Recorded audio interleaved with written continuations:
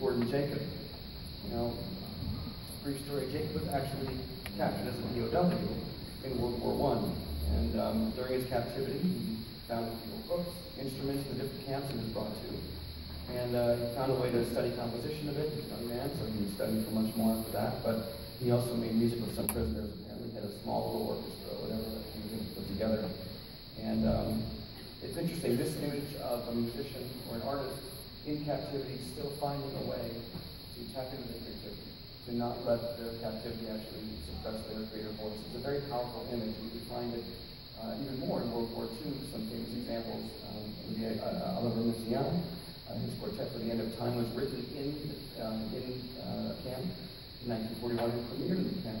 Um, some may have heard of the, uh, in the Czech Republic, the Terezin camp or Theresienstadt, which was a place where the Nazis had brought a lot of the artists and had them there before they were, many of them, uh, sent off to Auschwitz. Um, composers like Viktor Ullmann and Erwin Schulhoff and Gideon Klein, other composers who were really very well respected in their, in their day, um, did not make it um, past World War One, uh, excuse me, World War Two. So in, uh, in the case of Gordon Jacob, fortunately, he did survive the POW camps, and he went on to become a very important composer and an author. And um, it's interesting because he's done two, he has two uh, pieces on our program later. The other one is Williams' English folk song suite, which we'll hear in the second half. But um, an interesting thing about taking a piece that's really written for band, the suite in E flat, uh, is suite number one in E flat is actually a very famous band piece. But he's taken it and brought it to the orchestra.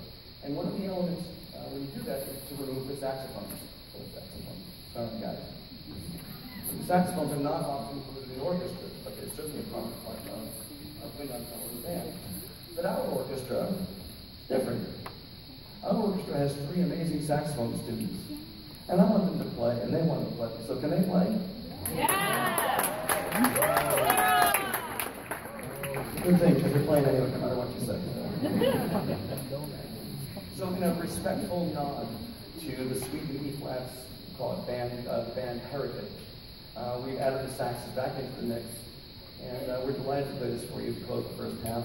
Uh, this is Christoph Holst's Suite Number One in E flat, arranged by Gordon Jacob.